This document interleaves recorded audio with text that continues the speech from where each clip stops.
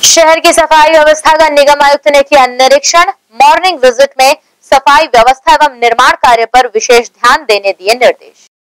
नगर पालिक निगम दुर्ग सीमा अंतर्गत गुरुवार निगम आयुक्त प्रकाश कुमार सर्वे ने सुबह मॉर्निंग विज़िट में सफ़ाई व्यवस्था के लिए स्वास्थ्य अधिकारी गिरीश दीवान, सहायक स्वास्थ्य अधिकारी व नोडल अधिकारी जावेद अली के साथ शहर सफ़ाई को लेकर विभिन्न क्षेत्रों का दौरा किया। वहीं आयुक्त प्रकाश कुमार सर्वे ने मालवीय नगर शंकर नाला का निरीक्षण भी किया। उन्होंने वार्ड 24 व 23 में डोर टू डोर कलेक्शन कार्य का निरीक्षण के उपरांत स्टेशन रोड मुख्य मार्ग की सड़क सफ़ाई कार्य का अवलोकन करते हुए टेंचिंग ग्राउंड पोटिया कला में स्थित एसएलआरएम सेंटर व वर्मी कम्पोस्ट सेंटर का निरीक्षण भी किया।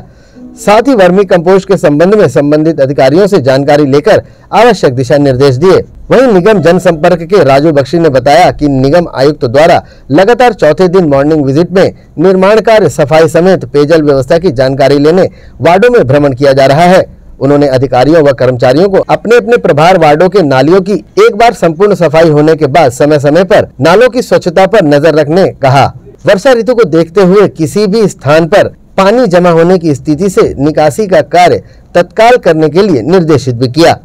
ग्रैंड एशियन न्यूज़ के लिए दुर्ग से नसीम फारूकी की रिपोर्ट।